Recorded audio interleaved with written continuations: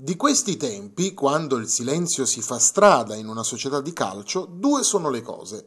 O si sta lavorando a un progetto importante in vista della stagione successiva, oppure c'è qualcosa che non va nell'entourage dirigenziale. Per la Paganese scegliamo, senza ombra di dubbi, l'opzione numero uno. Qualcosa di grosso, bolle in pentola a Pagani.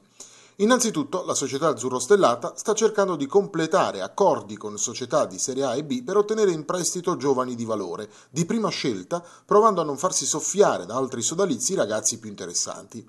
Rientra in quest'ottica il rapporto di collaborazione che è già cominciato l'estate scorsa con il Parma e che si sta intensificando in queste ultime settimane.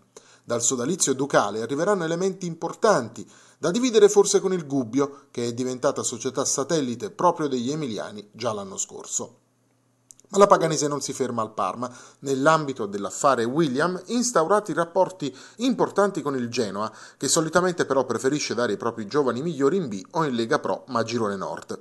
Intanto, proprio William, insieme a Daly e qualche altro, dovrebbe essere tra i confermati per la prossima stagione. Si vocifera anche di una guida tecnica importante, ma per ora inutile fare nomi, trattasi solo di indiscrezioni.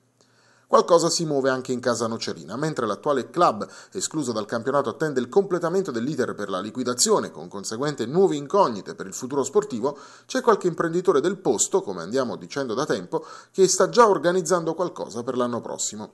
Innanzitutto il rilevamento di un titolo di eccellenza e la ripartenza con un nuovo nome.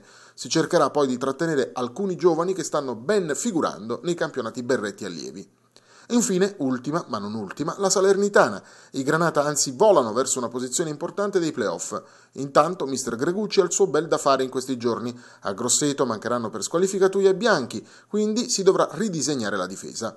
Cresce invece l'entusiasmo tra i tifosi, il pubblico di Fede Granata è al primo posto della classifica di presenza in Lega Pro e in Maremma saranno almeno 500 gli irriducibili al seguito di Foggia e Company.